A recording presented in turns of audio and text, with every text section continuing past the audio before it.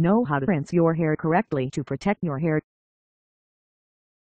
Begin the rinsing process by running warm water through your hair, separating it as you go to allow the water to flow through each section thoroughly.